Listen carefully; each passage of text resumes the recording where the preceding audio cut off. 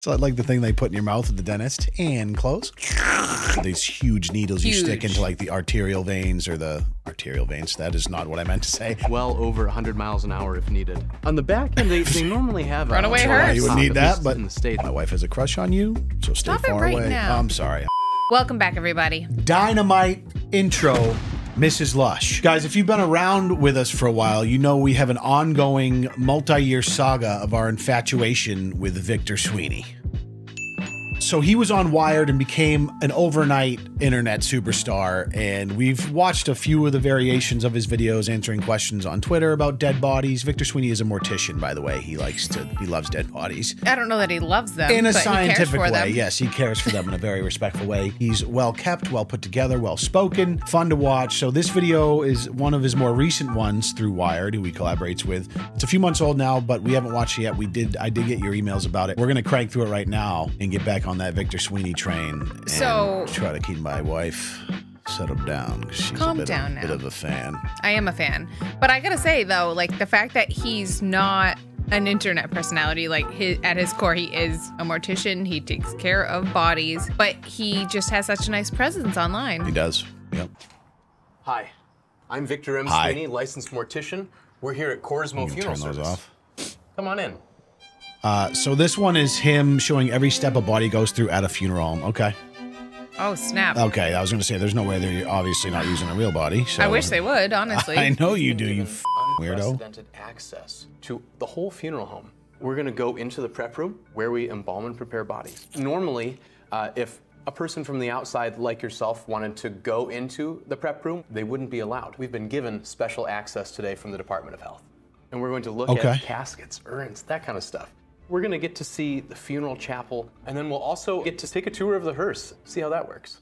With us today is Sean. Victor. It's interesting because it's such a morbid topic. but it's also so interesting. well, that's what I mean. It's so interesting as a third party. People that go through this experience is because they're preparing to say goodbye to a loved one. So it's like you're never able to appreciate maybe the interesting nature of it because you're going through the grief. Yeah, it's true, but they're also probably not thinking about these components of it. They're sitting down with someone that works at the not. funeral home director and they're making plans for an event, a ceremony, how they want their body to be taken care of, embalmed or cremated, whatever the process might be, but they're not getting into what that looks like. No, of course. Yeah, that's why getting to see the nuts and bolts behind it is I'm into it. Sure. Thanks for having me here. I really appreciate it. Death can be kind of scary. There's a lot of things about our, our field that are unknown. I'm Yep. excited for you to bring those answers to everyone today. First, we're gonna go inside the prep room. Why don't you come with me and I'll show you what we do. Looks like the guy from the uh oh god, what's that movie? Never mind. I know nothing. So here we are in the prep room, the room where we do all the embalming. Embalming is meant to sanitize and preserve bodies, as well as provide some level of restoration. So for instance, if someone is grievously injured, we can kind of work to reconstruct them, um, in addition to making sure that their body holds up for maybe the week that we have in between the time when they die and the time when we have the funeral. In this funeral home, the prep room is off of the garage. I don't want to be uh, bringing cots with bodies on them up or downstairs or through the whole funeral home to get them here, because then we can go right from the van to the room where the magic happens. Oh, In previous episodes, he did show some of the embalming tools, Yeah. and I believe that you're essentially like recirculating this through their the circulatory bloodstream. through the bloodstream I because think. the yeah uh, to to give them color to do I think to, and obviously to preserve I guess he'll tell us but that's like some of the stuff he showed us where like these huge needles you stick into like the arterial veins or the arterial veins that is not what I meant to say the uh atri- atrial fibril- fibrillations yeah I'm a scientist We've Sure. taken Mike. a dummy Mike from the back of the van, and now we're ready for the embalming.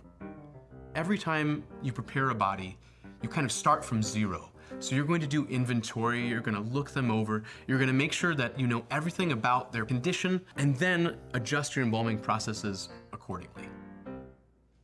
In a normal situation, I'm covered from head to toe with personal protective equipment, and that's mainly to Yes. keep me safe when I'm dealing with blood and pathogens. I'm also dealing with embalming fluids. Uh, so these are things that keep bodies preserved and sanitized, and a lot of these contain aldehydes. These are actually toxic chemicals. Every prep room is going to have ventilation, it's going to have formaldehyde level monitoring. All these things are in place to keep me safe and uh, to make sure that we don't infect our public spaces with what we have to do here in private. One of the first Yeah, yeah, steps that was the of tools we saw is- before. is setting the features. So making the face into a, a natural expression. These are called eye caps. Sometimes when people die, their eyes are open and we can position the eyelids and This part is the maybe the the strangest for me. Yeah, it From is a- creepy. From the perspective if if I was to do had to do it, create a facial expression on a, Mm. a dead person. But again, you're doing it for the sake of family, so you're doing a good thing, I suppose. have them stay that way. We use this device called the needle injector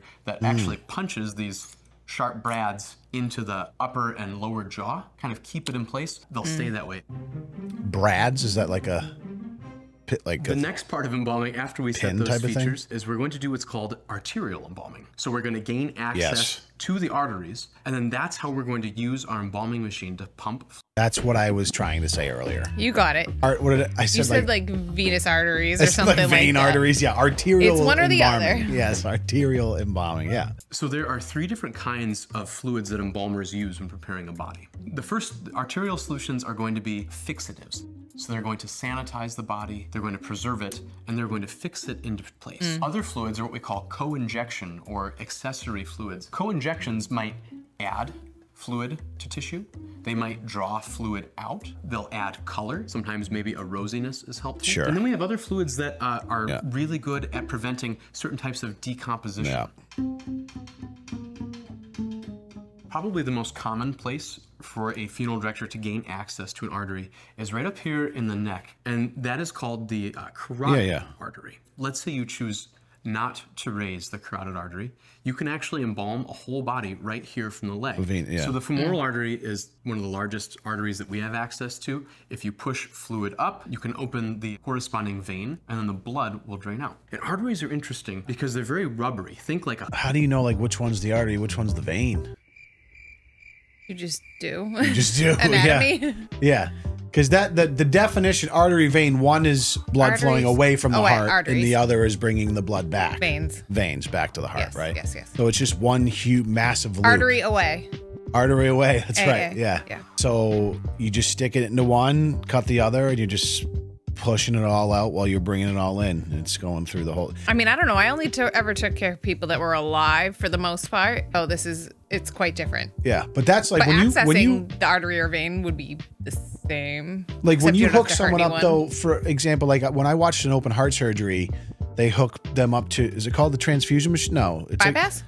uh, yeah it was a bypass they hook you up to a machine that circulates your blood while they're operating on the heart Bypass. a, it's a bypass Yeah. and that's essentially the same thing it must have an entry and an exit point and it's circulating the blood basically replacing your heart temporarily moving the blood through your body while they're doing the surgery on your heart while the heart's not that's so f- crazy to me and like when they're doing bypass surgery the heart stops right Can you slice?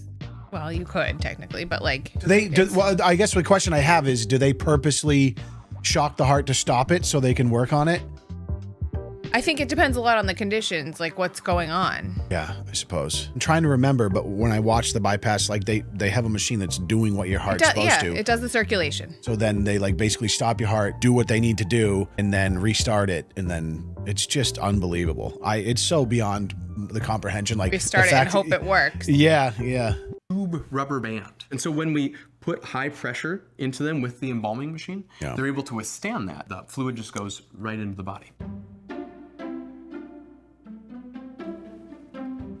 So this tank here is the embalming machine, and this tube goes right down the artery and then is going to shoot fluid in at a high pressure in order to circulate that fluid through while pushing out the blood that's been pooling in the venous system. That is nutty.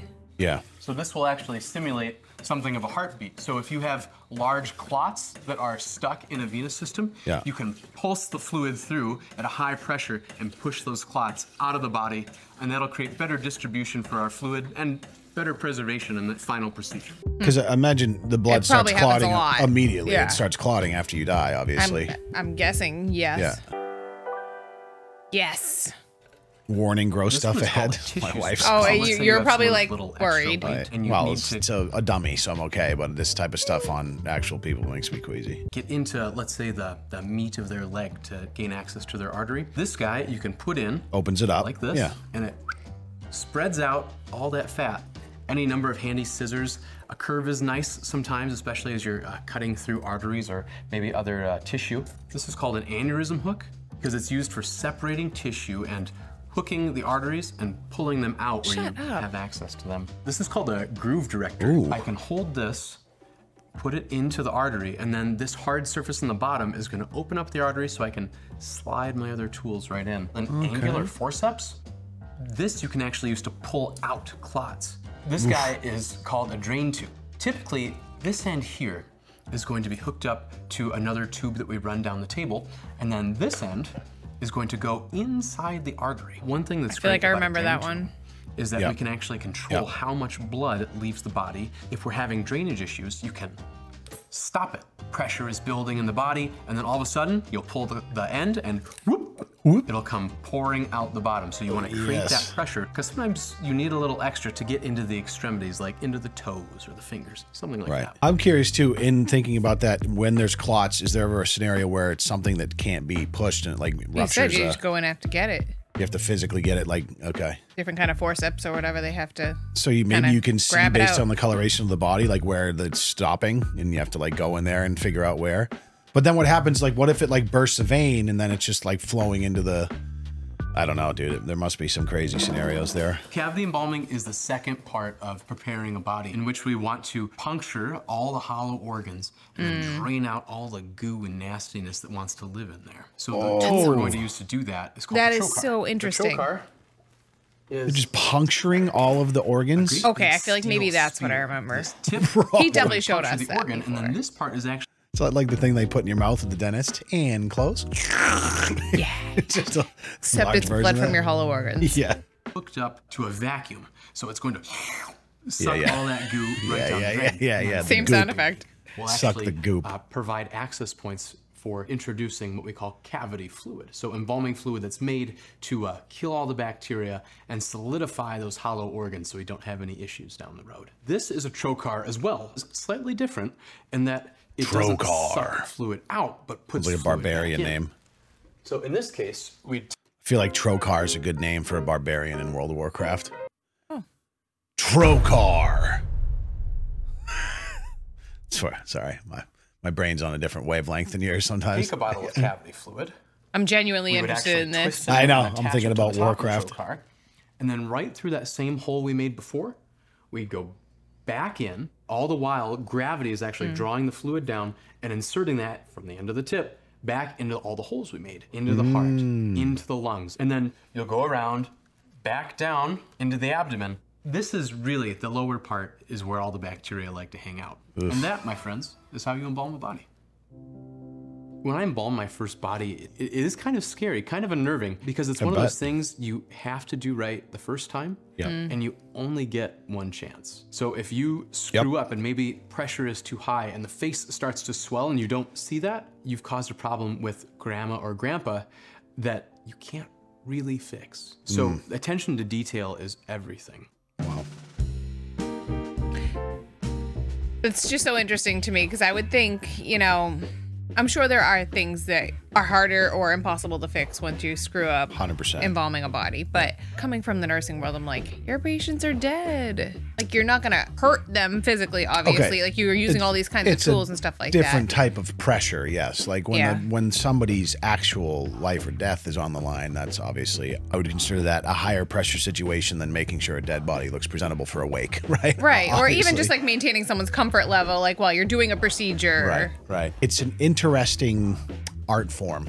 I feel It like. definitely, but of- it's it's an art and a science It very is. much. It is. It's a combination of the two. And this guy clearly takes a lot of pride in his job. Just from all the videos we've watched of him, he's super knowledgeable. And there's been questions in the previous videos. People ask him like, "How do you do? You have to disassociate? Like, how do you deal with doing that?" And Right. he explained it really well. I forget He what did. he said, He, said. gave a nice answer. And it wasn't that you disassociate. You, I don't know. I don't- I'm not going to answer for Uh, him. yeah, I don't remember either, but like it's obviously s- not something you would be able to do on someone you cared about or knew personally. You'd have someone else do that.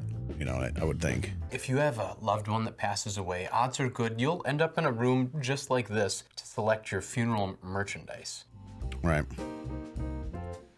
Yeah, When don't need to do all the embalming for the. cremation. Family might want to select an urn, and these range all over the place. There are simple urns that maybe start at $100 or less. They're really fancy, maybe uh, cast bronze ones that are hundreds and hundreds of dollars. Or some families just opt to use the container that comes from the crematory, just a simple Shoebox? plastic urn. Any one of those is perfectly suitable for what a family wants to do.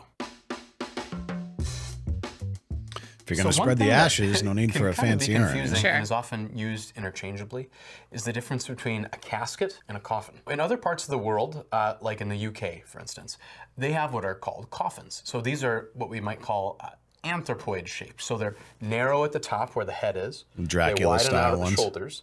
Then they Yeah. come back in again towards the feet. Whereas caskets are uniformly rectangular. In the United States, we used almost exclusively caskets. Caskets vary as widely as you can possibly imagine. We have very simple cardboard cloth covered caskets that might be more suitable for a, a simple burial or maybe cremation. And then we have high end caskets made from uh, hardwoods like mahogany or cherry or even bronze caskets. Variety is, is really the, the spice of death here. Wow. He did that. He went there. Fu- yeah, yeah. Funerals are interesting because it is like everything. It's a it's an industry. It's a business that's necessary, but it's an also an industry that needs to make a profit. So you have like your different tiers of services, your different tiers of caskets. You can have profit margin on. I can only imagine what like being on the business end of a funeral service looks like. Like how do you try and increase your bottom line or get more client? I I don't know. I Here's mean, the- you're not going to be trying to get more clients. well, I was just mean, going to say there will. it's more like beating out the competition. That's, that's right. There'll never be a shortage of necessity for your services uh, as long as these traditions remain, which I imagine they will for a very long time. It is probably comes down to word of mouth and how well you care and the families feel like they were treated, having in their experience. Absolutely. And and you know, they have to be willing to work with people in their budgets because this, even like a baseline, I'm sure yeah. is still quite costly. Yeah, yeah, a hundred percent. Certain some, you know, there's not a lot of families are in a fortunate enough position to be like, oh yeah, just take the nice coffin, Yeah, all just this drop stuff. the ten grand It's- for that one. That's what I mean. Like how you're not planning, you know, funerals typically oftentimes aren't one of those things you have a little rainy day fund for, you know. I don't, you know, for me, I've never thought about it for myself personally, but I don't hate the idea of like the, the cremation and the ashes spreading. I believe we did that with my grandfather. I'm not sure, but and that was by by his wishes. That's that's what he wanted, but everyone's got their own thing. Let me know when you decide. Here we are in the funeral chapel. We've taken our dummy Mike, and now we're ready for his family to come and, and say their final goodbyes. This opening here is called a cap, and this is an example of what we call a half couch casket. So you're only going to see uh, from about the midsection up. You should note every Pretty person in the casket is wearing pants, but not always shoes. Good to know. When we go to close a casket, um, oftentimes I have the deceased's family around me. There's a locking mechanism under here, and we're just going to simply pull that up. We'll open the latches here at the bottom. And then with the family, we'd all grab hold. We'd slowly lower the lid. And then we say goodbye. As a last step, um, I'll have you come with me as we load the casket into the hearse and we'll make our way to the cemetery. Come on. I wonder how this, you know, niche internet stardom has affected this dude's business. I gotta know. Yeah, I mean, This is such a cool one. it's such a Oh, look at the localized lights on thing, though. hundred percent. Yeah. You have a great hearse, Sean. And does he own his own company, or is he like working for another? I feel like he's. he in said the, he's the funeral director. I think. could be a family business, I maybe. think he said. I feel like so many funeral homes are fan, like just family businesses that have been in the family for multiple generations. But Yeah. So the vehicle behind me, some call it a hearse, some call it a coach, but in any case, it gets the deceased from point A to point B. There's some special things about a hearse. The first thing you should know is that every single one is custom built. So there's not a single company that makes hearses right off the line. Every one is made with a normal car, cut in half, extended, Wow. and totally rebuilt. You do not need a Whoa. special license or anything to did not drive know a that. hearse. Being built on Lincolns and Cadillacs, usually they have nice big engines and they go well over 100 miles an hour if needed. On the back end, they, they normally have a- Runaway sure why hearse. you would need that, least but in the states, that swooshy design on the back is called a Landau bar. It's kind of the, uh, the quintessential mark of a hearse. It's a remnant from when they used to be coaches, so horse-drawn carriages, and the top would pull back. Today we don't have convertible hearses, but it's a nice mark when you see one, you know exactly what it is. So one thing you'll notice about a hearse is that the door opens really wide. So when you have six casket bearers, you can get nice and close before you put the casket on the rollers. And the rollers go all the way inside, so it's a nice, smooth uh, roll into the hearse. When you get the casket in place, the brakes. you're gonna take this stopper, put it just like this, Okay. and keep the casket so it doesn't go flying out of the back. Ah, I wonder how much a casket weighs. When I load a hearse, It's heavy. I always go head first. Uh, the reason being, when you tilt the casket a little bit to get it in, then their feet are down, and if they slide, they slide towards their feet. Whereas if you flipped it around the other way, they'd be going head first, and it's awfully heavy. So always the heavy head end first, and uh, the feet will follow. Well, why don't we try loading it Yeah, up with upper our, body with our heavier friend Mike? lower We've for sure. taken him from point A. Now let's go to point Z, and uh, Sean is going to help me here.